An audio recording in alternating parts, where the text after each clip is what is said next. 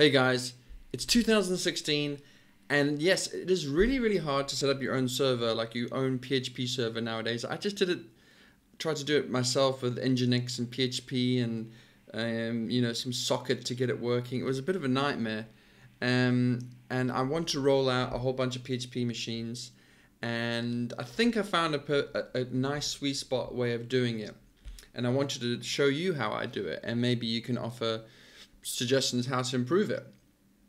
So first, first and foremost, I want to set up like a kind of like a CDN. So um, I want to set up different machines around the world. Um, and right now I'm kind of doing this manually, but I'm also just doing it manually so you, you understand. My favorite OS right now is Core OS just because it it's a lightweight, self-update, self-updating OS just to run Docker files that uses systemd. I don't really any, I basically I, I want to focus on using systemd and Docker. That's it. Seriously. That's it. That's all I want. That's all I need. So let me set up where shall I set up machine? Uh, let, us just do it in Singapore because it will probably be faster since I'm in Singapore. And let's call this um, sgtest.webconverger.com. Okay. So let's create the droplet. So um, of course you could just do this with an EC2 instance or some some other VPS provider. Really doesn't matter. I'm just showing you here using a droplet because it's five bucks a month and it's quite cheap and it's quite good actually. Um, so what we do is set up set up the VPS droplet EC2 whatever it's called. In this industry has a zillion different names. It's a bit annoying. I get the IP and then I, I go to my DNS interface, which is uh, Route 53, and I put it in there, hosted zone. Yep. Create a record set.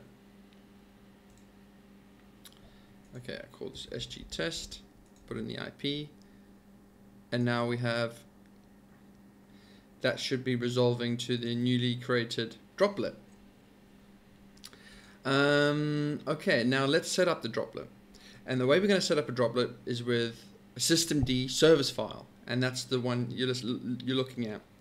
And we're going to set it up with the caddy server with this configuration.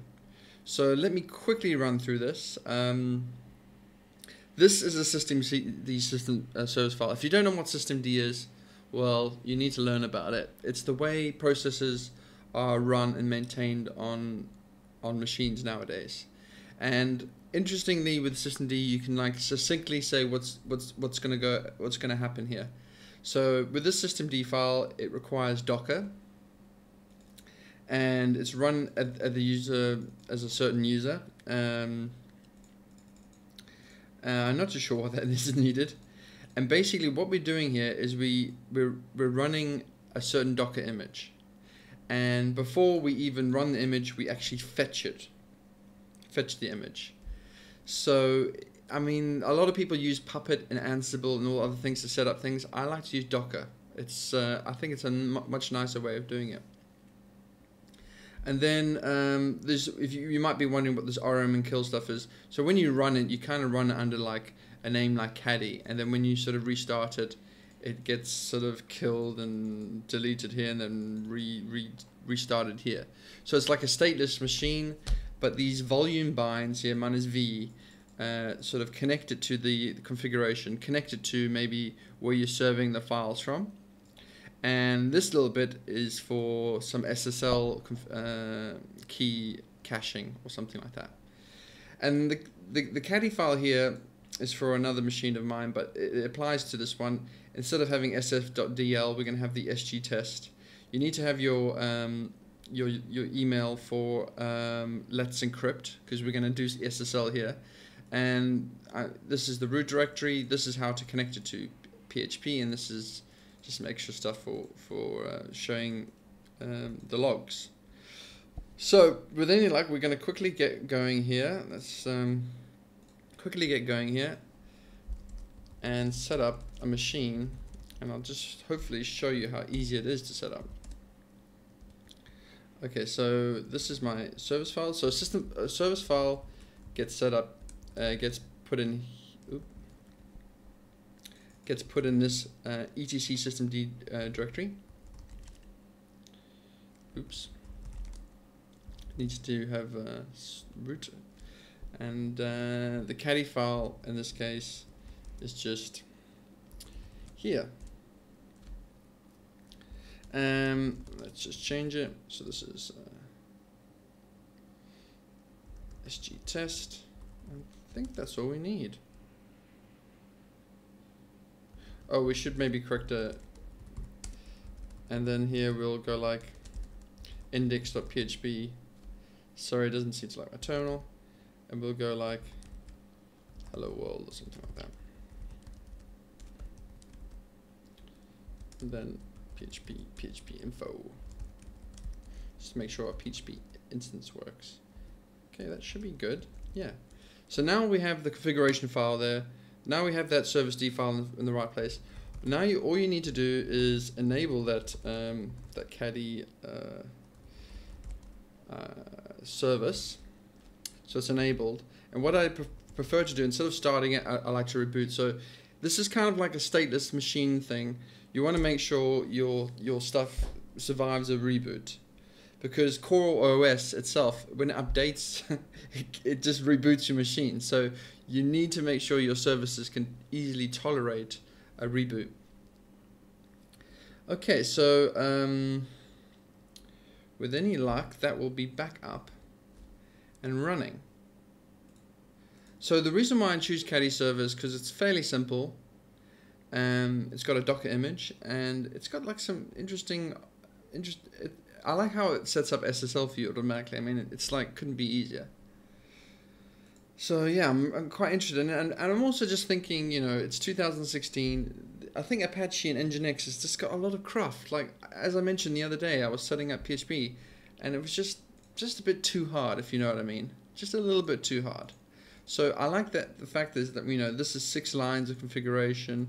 This is maybe 20. So 26 lines sort of defines the configuration of my server, and that's that's what I'm hoping. That's what I'm hoping for. Okay, so systemd status to see um, if how the caddy thing is going, and it looks okay. So it wasn't running before, so this will obviously fail, but it, it looks like it, it pulled successfully the Docker image and um, it looks like it's running. So, and you must make sure the DNS resolves, otherwise the HTTPS won't work. So now if we go to sgtest.webconverger.com, everything should just work. And it does, look at that, look at that. Sweetness. I got a let, let's encrypt uh, SSL thing there. And I got a hello world there. So, I mean, isn't that amazing? Uh, I think I've really hit the sweet spot here just very quickly, if you want to see, um, if you want to maybe drill into your Docker image, you, you, or see what's running rather, Docker PS. So yeah, there's a few technologies here. Core OS, which is really just, in my opinion, uh, a, a Linux image running Docker, running systemd.